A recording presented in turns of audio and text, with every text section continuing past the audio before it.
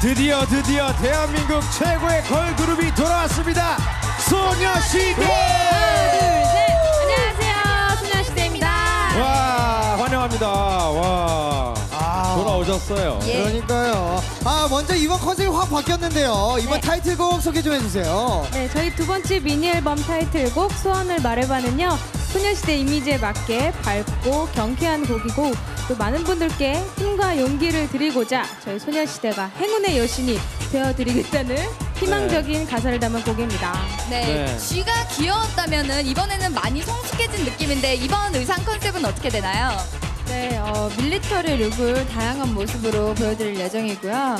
어, 그리고 네, 육군, 공군, 해군 등 다양한 스타일을 보여드릴 거고요. 그리고 저희가 지금 입은 룩은 해군을 상징하는 마린 룩입니다. 네, 해군 오늘은 네. 마린룩. 예, 마린룩이라 굉장히 지금 유행하고 있습니다. 그러니까요. 벌써부터요. 아, 또 그 안무가 굉장히 많이 달라졌죠. 네, 요번 안무 특징 포인트 좀 소개 좀 부탁드릴게요. 네, 이번 저희 노래 소원을 말해봐 안무 포인트는요. 일명 제기차기 춤이라는 게 있는데요. 어, 네. 제기를 차는 것처럼 이렇게 앞으로 가면서 다리를 구부리는 동작입니다. 예. 네. 그리고 또 하나는요.